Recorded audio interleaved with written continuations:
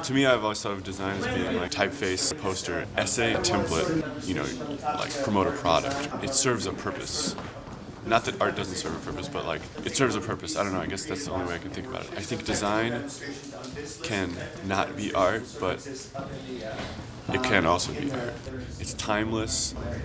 Um, so Yeah. what we decided was just to about make the process go easier.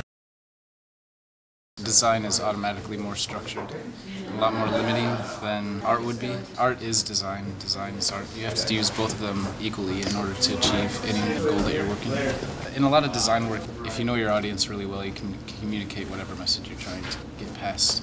And art, it's limitless. That's my favorite thing about it. It's anything you want it to be.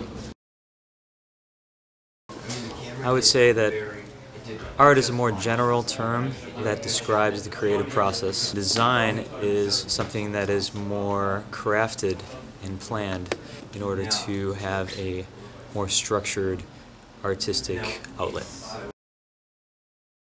I would say that uh, art is a self-expression and design is art that serves a public function.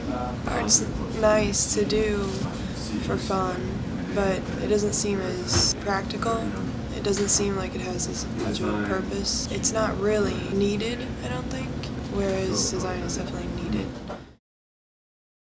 I think they're both very similar. You have to have an artistic eye in order to have a design eye, and same as for art too as well. But not to say that art is not technical. I think design might be a little bit more technical in a sense. Art has a little bit more freedom of emotion the person is trying to communicate or something like that, whereas design might have more of a specific purpose. Not that art does not. That design has a little bit more of trying to have one specific purpose and they're trying to communicate.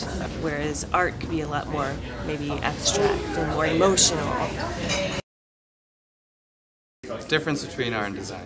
For me, design is the idea of being able to communicate through images. It deals with subject matter, and the communication of that subject matter is very important, especially graphic design. Whereas art is about self-expression and limitless creativity. I think that people necessarily understanding what you're doing seems to be less important. There aren't any rules in art. Whether someone gets it doesn't matter ultimately.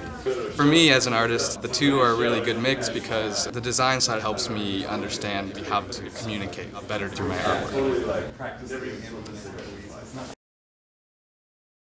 In my opinion, the difference between art and design is that design is generally a functional representation of information organized by some sort of designer slash artist. Basically working with content handed to them. Art is generally a situation where you're organizing information with content that you decide upon yourself as an artist. Both of them require art skill and design skill. Thank you.